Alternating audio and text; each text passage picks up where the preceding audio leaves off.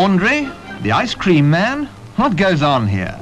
Well, you might easily be confused when you see dustmen in spotless white and dustbins made of paper. My old man's a dustman, but anybody can be proud of that if the new idea catches on.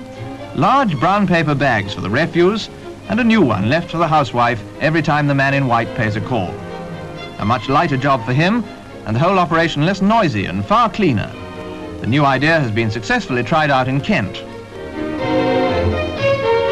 There are special metal frames to hold the bags, which are good and strong. It's also hygienic, says the housewife, and so frightfully clinical.